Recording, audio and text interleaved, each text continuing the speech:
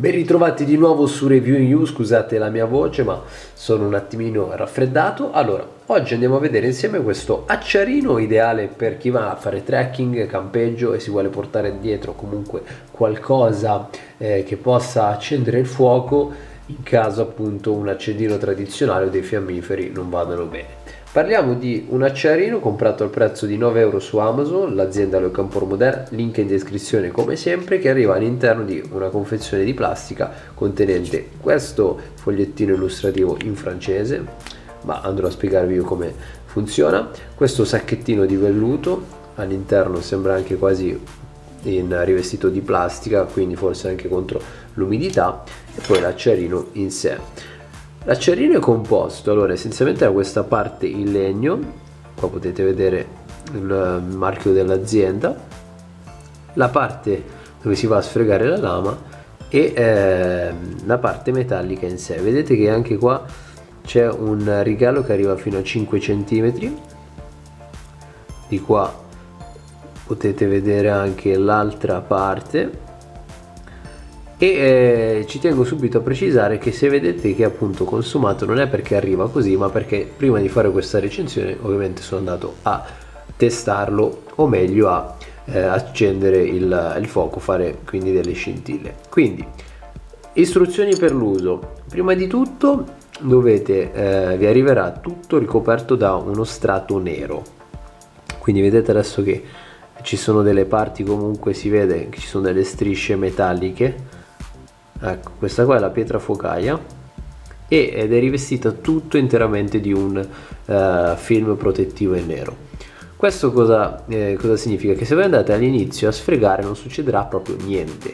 Quindi come dice anche il foglietto illustrativo dovete andare a rimuovere io l'ho fatto con questa parte di eh, lama appunto dovete andare a grattare via questo strato protettivo se no appunto la scintilla non, non si creerà. Infatti all'inizio anch'io ero lì che senza leggere il libratore e le istruzioni facevo così e vedevo che non c'era scintilla. Ho detto com'è possibile? Poi sono andato a leggere il foglietto illustrativo e c'è proprio scritto che con questa parte della, della, della lama dovete andare a grattare via il, um, questo film protettivo nero.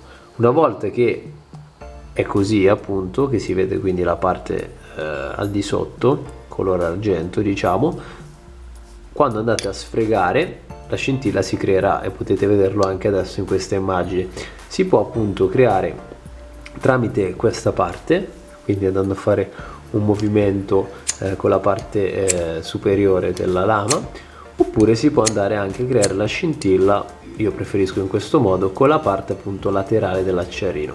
La scintilla è assicurata.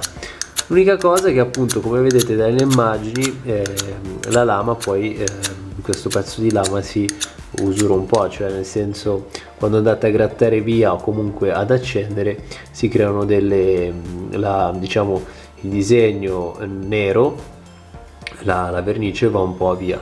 Questo però è stato anche una mia colpa perché sono andato a grattare il film protettivo con questa parte di lama avrei potuto eh, farlo benissimo magari con un coltello e quindi evitare di eh, rovinare diciamo questa parte di lama. Ma comunque l'acciarino è giusto che funzioni che serva per fare la scintilla e comunque eh, fa sempre un po' eh, diciamo un oggetto vissuto. Quindi eh, non è male. Andiamo a vedere insieme soltanto due dati tecnici. Innanzitutto il peso.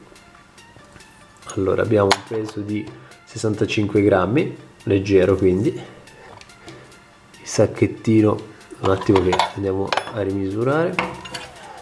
Allora 73 56 grammi. Prima aveva pesato in modo errato quindi un peso contenuto di 56 grammi mentre le misure sono di circa 12 no 11 abbondante 11 e mezzo oserei dire.